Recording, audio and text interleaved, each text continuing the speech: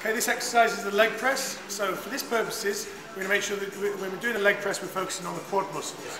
So the leg press focuses on the extension of the hip joint and extension of the knee joint. So quads and glutes. We're focusing mainly on the quads. So the key thing to remember here is we have our feet at the bottom of the pad to use our quads rather than the top of the pad which we're using more hamstrings. So I'm going to demonstrate this on Paul. So the key thing to remember is we're going to look at our active range of motions for the quad on this, on this machine. So in order to get their knees lower, which people think is important, you'll see people put their feet right up at the top of the pad and you'll see that they spread their knees apart and they rotate their hips underneath. So what that does is put their spine in a weakened position and it puts more focus on the hamstrings.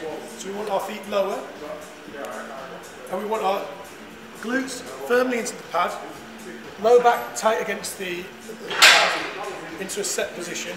Now a good thing to trick to figure out where your active range of motion of this is, is if you take your pad, your foot off the pad and bring your knee towards you, that's about your active range of motion. Any further than that, using gravity or you're rotating your spine, which isn't a good thing. So remember this position, that's your active range of motion. Anywhere further than that, you're not going to be able to contract the quads.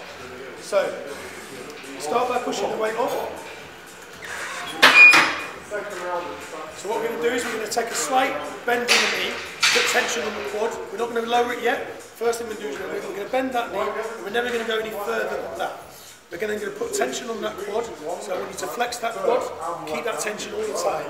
So when, now when we lower the weight, we're not going to just relax and let the weight fall, we're going to make sure that we're keeping the tension on the quad. So slowly lower it whilst keep, keeping tension on the quad.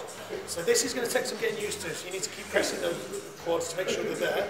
That was our active range of motion. We're going to pause there, and then we're going to squeeze the quads so that it pushes back up again. Okay, squeeze those quads, then short block out, and again, keeping tension on this quad all the time, slowly lower it, keeping tension on the quad. That's an awkward movement to start with for most people. Okay, squeeze, slowly down. So if you rack that, okay, you rack it now? So you, the first time people try that, you know, you'll find that they can't lower the pad without taking tension off the quads. It's, good to practice that with your feet on the floor. You can practice driving into the floor with your feet apart and that will initiate the quads and you'll feel that tension on there. It's something to practice at home in the gym and then you'll find that you get the hang of it eventually and then you put more and more weight on. Because the key is that all, during that full range of motion you want tension on the quads. What most people do is they lower it using gravity with no tension on the quads. They then throw it up from the bottom and catch it at the top. So then they've got tension on the quads 25% of the time. I want tension on the quads for the full amount of time that way.